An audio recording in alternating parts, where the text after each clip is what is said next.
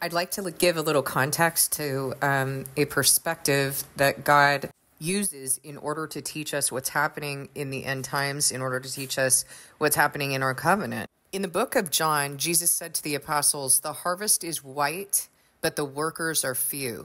And so at that time, there were people who loved God. And the people who loved God are those who were given a softened heart to be able to recognize Jesus when he was here.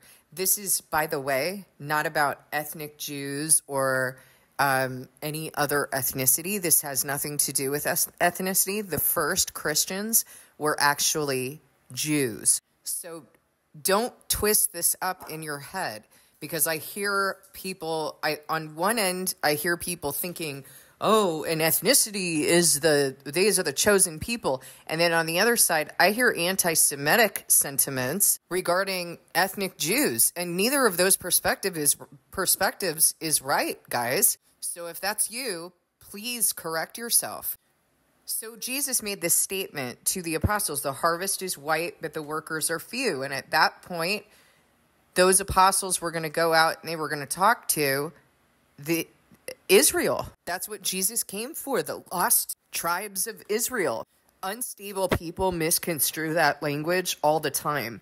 But Jesus said it when he was here. He said, I'm here for the lost tribes of Israel to go uh, preach to the lost tribes of Israel. What were the lost tribes of Israel? If I say to you, man, you're lost. Do you understand my language? Do you understand what I'm saying to you? you're not getting it. That's what Jesus was talking about. But I see, you know, like on YouTube, I've seen people say, Where are the lost tribes of Israel? that would be you, buddy. You're not getting it.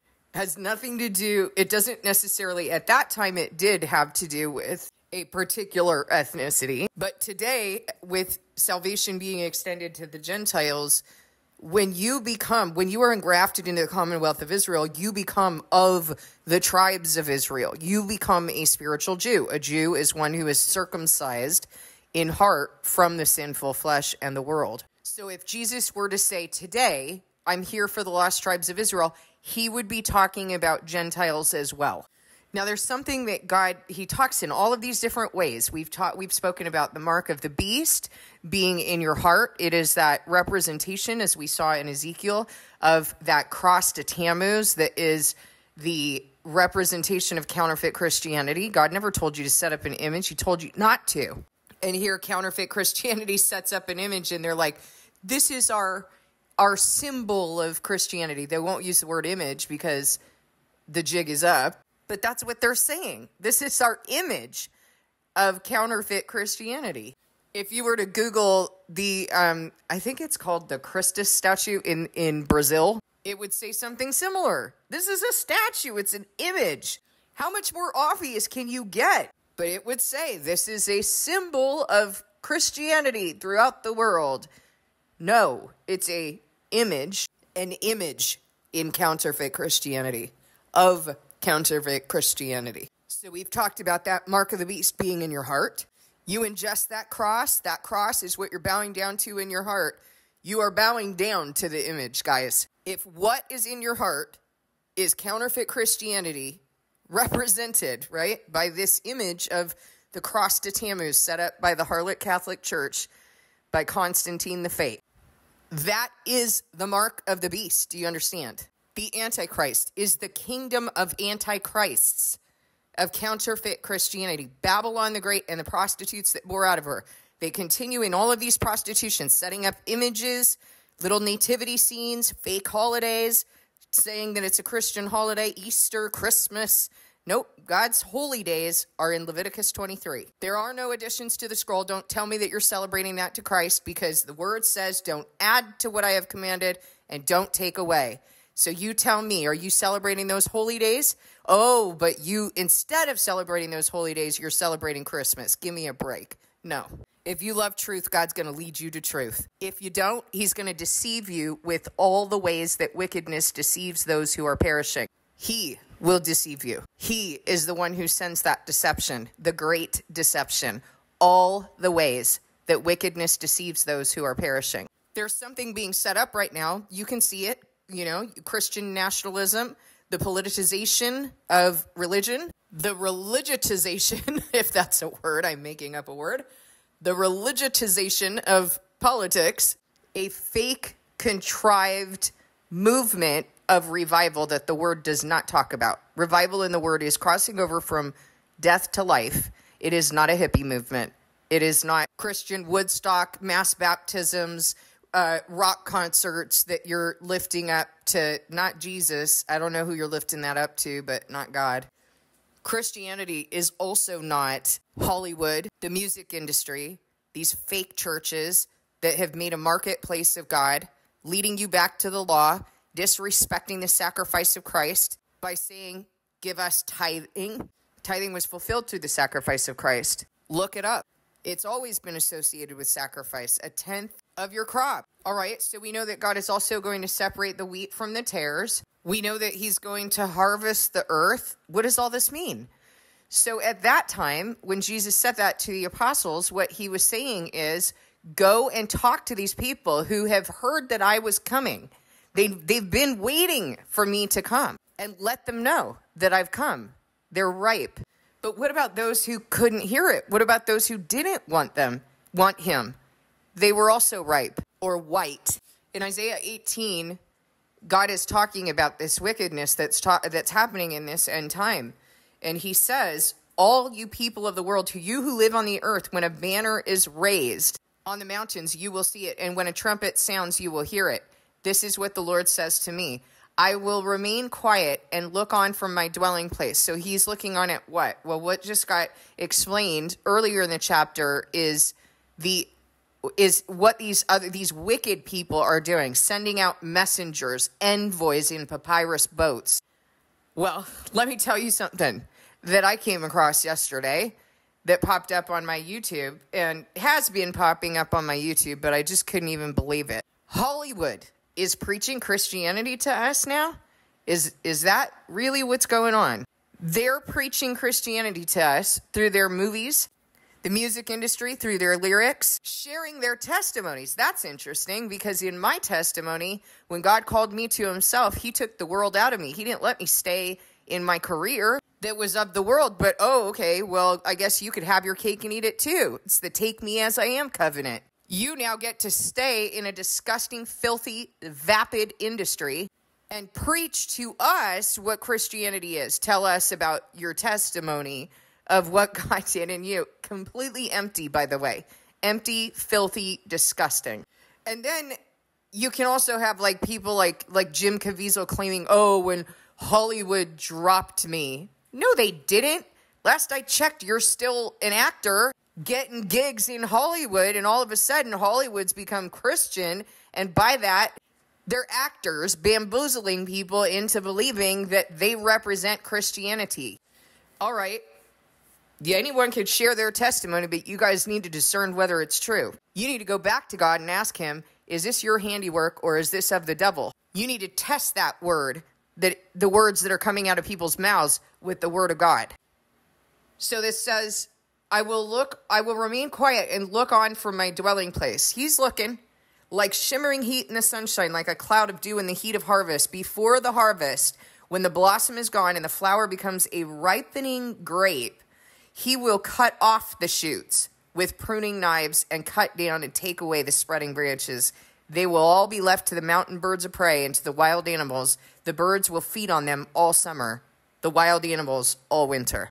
Okay, so in a previous video, I talked about that. I talked about where that is in history. Where we see that in scripture is when Jesus comes back and he kills everyone with the sword coming out of his mouth, and all the birds gorge themselves on the flesh of these kings and generals, all of the people who have oppressed God's people. This kingdom of counterfeit Christianity, this kingdom of the Antichrist. If you're not with him, you're against him. If you are teaching New Age garbage passing that off as Christianity, you're against him. I don't care if you you think you're doing that in the name of Christ. These people are of the antichrist. These people who are rising right now in Hollywood, in Christian nationalism, those who can't wait to get together and have their little chosen nights and their passion of the Christ nights, those chasing after that falsehood, that false Messiah, they are of the Antichrist. They are many antichrists. They are of that kingdom, and they will persecute God's people during the Antichrist reign in two years, less than two years. In Revelation 14, 15, it says, Then another angel came out of the temple and called in a loud voice to him who was seated, sitting on the cloud Take your sickle and reap, because the time to reap is come, for the harvest of the earth is ripe. So he who was seated on the cloud swung his sickle over the earth, and the earth was harvested. And another angel came out of the temple in heaven, and he too had a sharp sickle. Still another angel who had charge of the fire came from the altar and called in a loud voice to him who had the sharp sickle Take your sharp sickle and gather the clusters of grapes. So you saw that in Isaiah, the cluster of grapes from the earth's vine, because the because its grapes are ripe. The angel swung his sickle on the earth, gathered its grapes, and threw them into the great winepress of God's wrath. Okay, so the word talks about wickedness blossoming, it talks about the harvest being ripe or white. When it's talking about grapes, it's usually talking about the end. It's talking about that final harvest where he he uh, cuts those grapes and he throws them into the winepress of his wrath. Now, let me tell you what's going on right now because I want you to understand what is happening. What is happening before your eyes? No, Hollywood has not gone Christian. Neither has this country, neither has politics, neither have the important people of the world. Hello?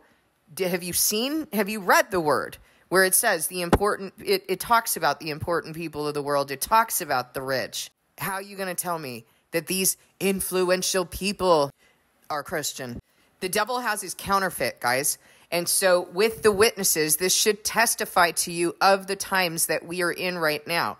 The devil knows the witnesses are here. He knows what's going on. He can see it.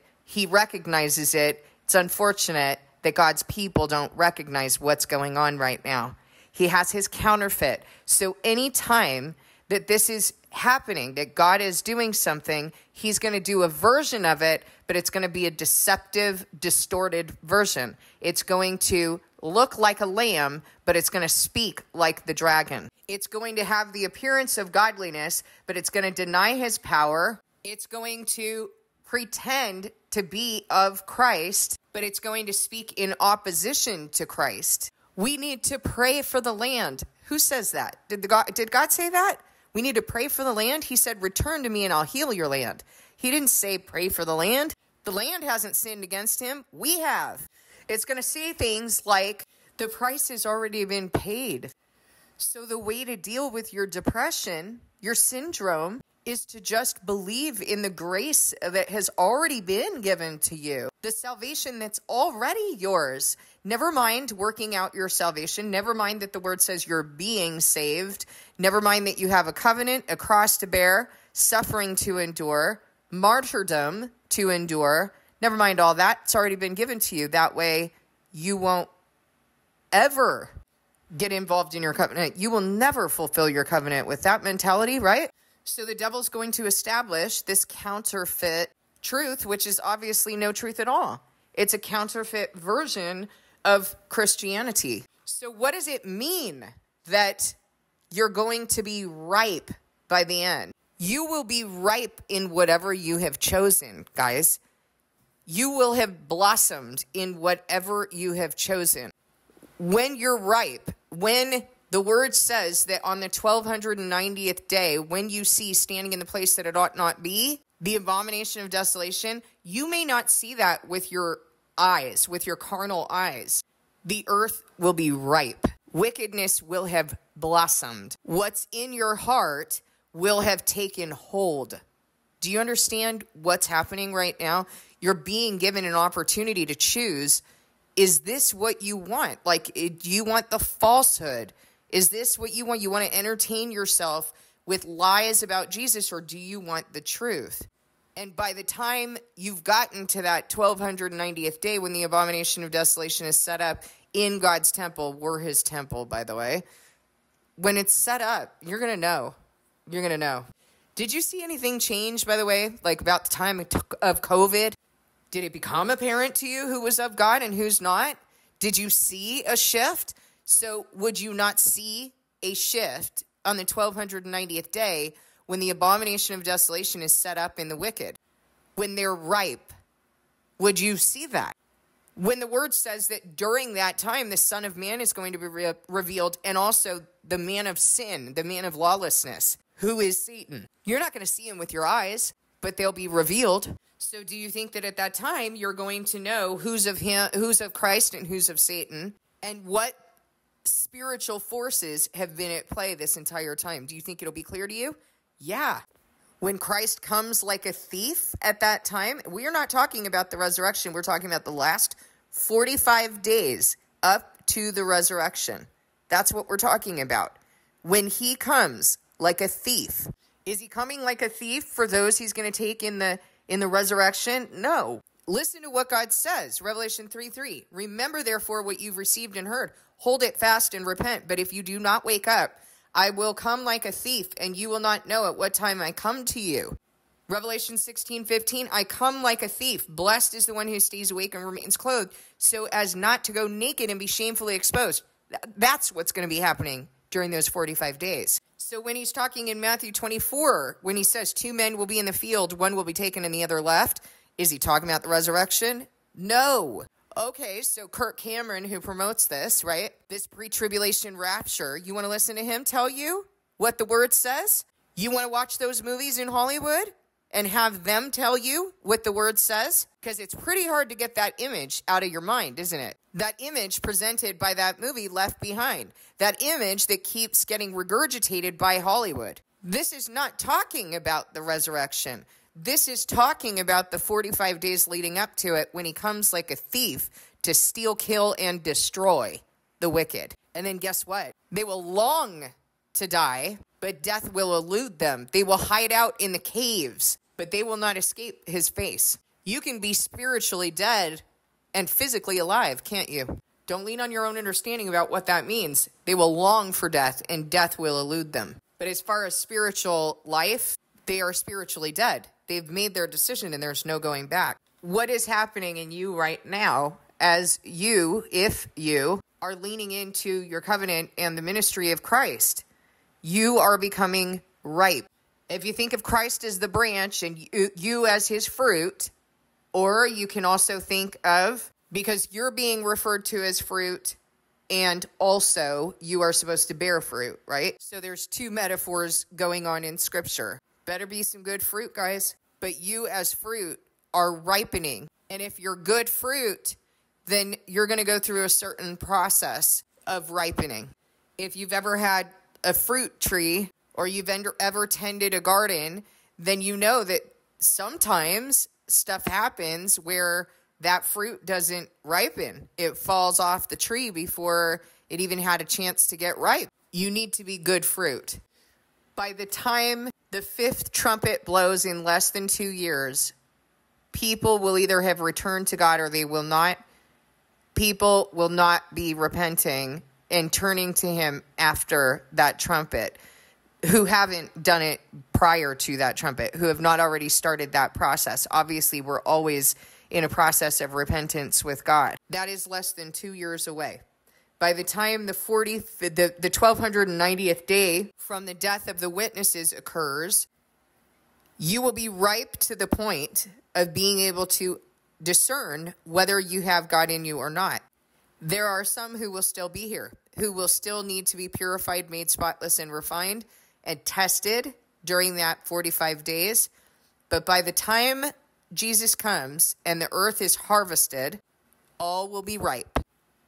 It should testify to you that something is going on. Even if you haven't discerned the witnesses, you should know right now that something is going on if the devil is doing this right now and putting his best effort forth to deceive you about what Christianity is, what this covenant is, and what the word says. If he is putting that much effort into this, you should know that something is going on. Something has shifted. When in your life have you ever seen this? How did everybody become Christian overnight? How are there revivals going on all over the world and the Holy Spirit's just pouring out? What's going on there, guys? Discern the times, discern whether or not I'm a shepherd of God and if what I say is true. Because if what I say is true, nothing else matters, does it? Nothing else should matter at this point in history if what I'm saying is true. Not the promotion, not the house, not not the girl, the guy, nothing. Nothing else matters at this point in history. You think you have time to go pursue a love interest, time to go and like plan your life? You don't. And if that is becoming a temptation for you, you better take a look at what's going on. You better take a look at what's going on inside of you that the devil is uh, trying to get to you through that, through all these longings and plans and desires, because there is no time for that. Paul was saying it during his time, but I'm telling you right now, there is no time for that. You want to get married and have babies at this time in history? I mean, if God wills it, then by all means. But as far as I can see, it's going to be a lot more painful for you when the Antichrist rises. You are not going to, as Paul said, it's going to be very difficult for you to be able to be single minded to God. The person who gets married wants to please their spouse, and they are not, it is very difficult for them to be single minded for God because they're concerned about worldly things. Paul admonished to stay in the position you were in when God called you. I'm saying the same thing to you. There is enough to be done in your covenant right now than to be bogged down and distracted by someone else's stuff, someone else's life. I'm not saying that marriage isn't a beautiful thing. Marriage is a beautiful thing, but it's also going to make your covenant harder. And if these are the things you're concerned about right now, it's going to take longer for God to bring you into position so that you can receive this and just be done with your covenant here. Be used by him because everyone has to serve in his house. It's it's ridiculous that anybody would think that you're going to go up in the resurrection and become priests of God, but you don't even realize that you're supposed to be serving in his house. There are a lot of people who think that way, who think what I'm doing, oh, that's that's all fine and dandy for Carrie, but that's her role. What what are you talking about? What do you Paul has said that to each is given his task. And in order to enact that task, each one is given a gift. If that hasn't happened, it's going to need to. How are you going to be in his house when you're not serving in his house? There are no squatters in the kingdom of heaven. Please discern the things that I'm saying. You need to be ripe, and you will indeed be ripe, but you need to make the decision about who you're going to be ripe for. Whose mark you're going to have in your heart? Of which kingdom will you belong? Please discern the things that I'm saying with God. Go back and ask Him. And if He answers you, then ask Him to turn your heart according to what He requires. And don't just say the words, but you need to receive that from him. You need to listen to what he's saying to you.